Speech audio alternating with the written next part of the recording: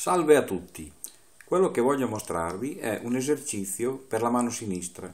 un esercizio derivato dal flamenco e che è molto utile per rinforzare proprio i legamenti delle dita e quindi anche le capacità della vostra mano sinistra. E questo esercizio non l'ho ancora trovato su YouTube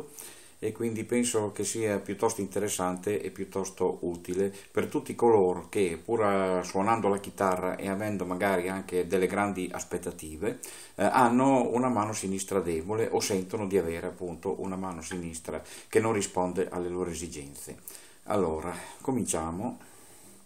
Partiamo dalla quinta corda, io metto l'indice qui sul primo tasto e poi comincio a fare una serie di legato, una serie di legature, no? quindi faremo medio indice poi anulare indice e infine mignolo indice ecco vediamolo in sequenza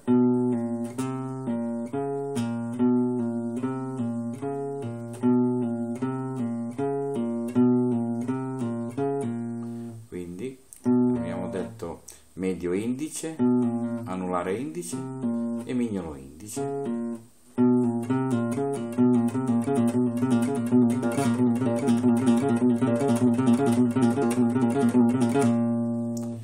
Ovviamente questo richiede già una mano sinistra piuttosto allenata. Chi non se la sente di farlo subito all'inizio della tastiera può benissimo iniziare qua nella parte più alta del manico, per esempio al settimo capotasto, e fare lo stesso lavoro.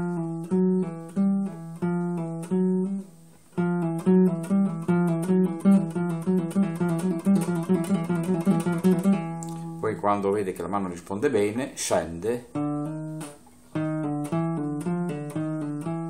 scende progressivamente verso l'inizio del manico.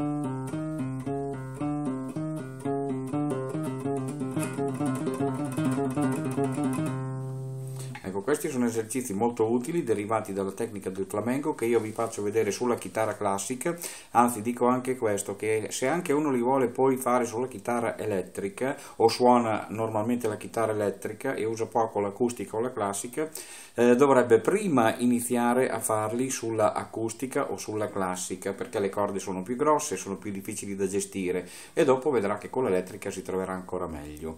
E questo è l'esercizio base, poi ce ne sono anche altri, per esempio io posso fare anulare eh, medio e poi mignolo indice, anulare medio, mignolo indice oppure addirittura per rinforzare il mignolo che i chitarristi rock non usano mai perché io li vedo in quei video che possono avere anche una ottima tecnica però il mignolo è sempre trascurato ed è un peccato perché il mignolo è un dito come gli altri e andrebbe quindi allenato e usato come gli altri. Ecco partiamo dal mignolo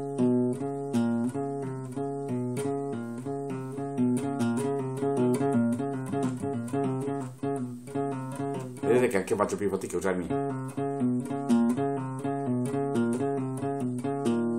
Quindi mignolo anulare mignolo medio mignolo indice